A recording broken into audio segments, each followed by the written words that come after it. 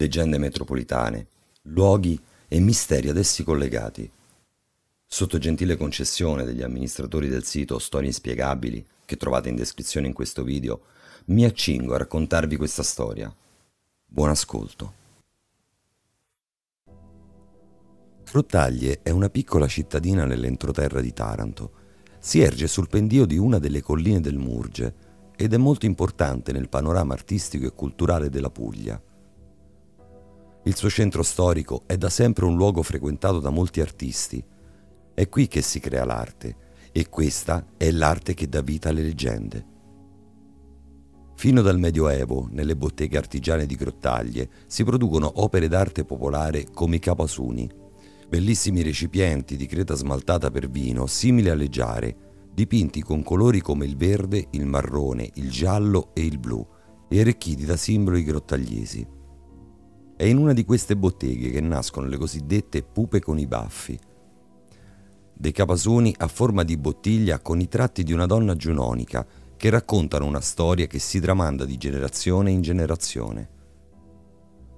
Il racconto dell'origine delle pupe con i baffi ha inizio quando Grottaglie era un feudo spagnolo e in quel tempo, tra le varie leggi a vantaggio del feudatario, vigeva la lus prime noctis, che sarebbe il diritto per il signore del feudo di trascorrere la prima notte di nozze con le più belle fanciulle. Naturalmente tutti i mariti si dovevano piegare a questa infame legge, pena la morte, ma, seppure raramente, qualcuno non era disposto ad accettare la dura realtà. Si racconta che attorno al XVIII secolo un vignaiolo di Martina Franca avesse sposato una splendida fanciulla di Grottaglie e per sottrarre la moglie dall'orribile sopruso si travestì egli stesso da donna per offrirsi al feudatario. Esiste una variante della storia che sostiene che lo scopo del vignaiolo fosse quello di uccidere il padrone. Sia come sia, egli indossò un abito bellissimo, colorato e alla moda, con un prezioso cappello di piume e in questo modo riuscì ad ingannare le guardie. L'illusione non durò a lungo Nonostante la poca luce presente nelle stanze del palazzo, il principe scoprì facilmente l'imbroglio, dato che il vignaiolo aveva dimenticato di radersi i baffi e decise in un primo momento di giustiziare l'uomo. Poi, guidato dalla sua cupidigia, preferì punirlo in un modo diverso.